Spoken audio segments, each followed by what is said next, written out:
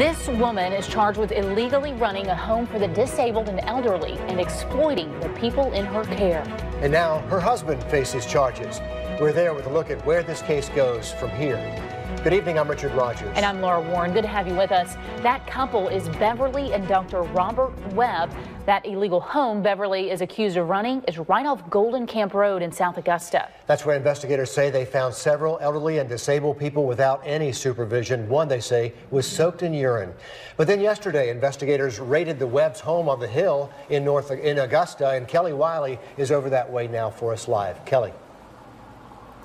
Richard, I'm on Comfort Road. If you drove just a few minutes down this road, you'd be at Lake Forest Hills Elementary. But turn back this way. If you remember the image of that home on Sprucewood Drive where Beverly Webb was accused of housing, neglecting, and exploiting four elderly disabled people, compare that home to the size of this one. This is her house. It's probably double the size. But a few days ago, as you remember, Beverly Webb was arrested. But let me set the scene for yesterday. Neighbors say for hours, there were dozens of police cars lining this roadway around the curb. They said for hours they watched as investigators came out that door again and again, pulling box after box after box of information. Eventually, they found what led to the arrest of her husband, Dr. Robert Webb.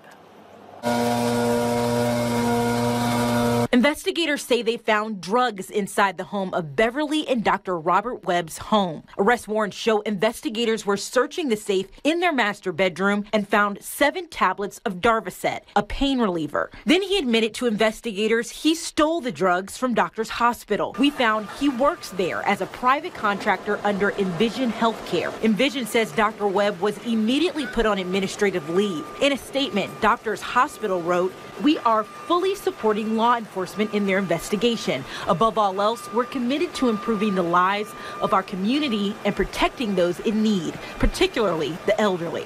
Right now, investigators are holding Dr. Webb in jail under those drug charges, but investigators say he could face more.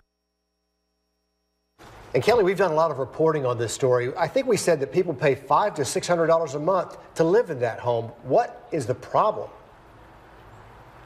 Well, Richard, the problem is less so about the money and more so about these two things. One, she's not licensed to run a personal care home, but her home was set up like a personal care home. Two, it's about the service. What would you want for your mom or dad? The CAVE team is saying, and the law says, this is just not how you treat those elderly folks. Uh, one soaked in urine, as you mentioned. So it's really about the conditions that they're living in.